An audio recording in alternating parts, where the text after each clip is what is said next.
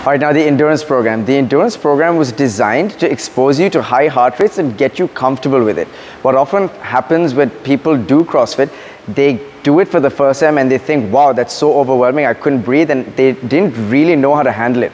So the endurance class is mainly rowing intervals, assault bike intervals, and on our Wednesday classes, we basically expose you to these mini CrossFit workouts. So we'll throw in dumbbell snatches, we'll throw in air squats, we'll throw in burpees, we'll throw in box jumps sometimes, and give you a little bit of what CrossFit workouts are gonna feel like. Essentially, the class was designed to teach you your gears, right? Let's say gear one to 10. The best analogy I could give you would be if I asked you to run 100 meters as fast as you can, most people automatically know how fast that's gonna look.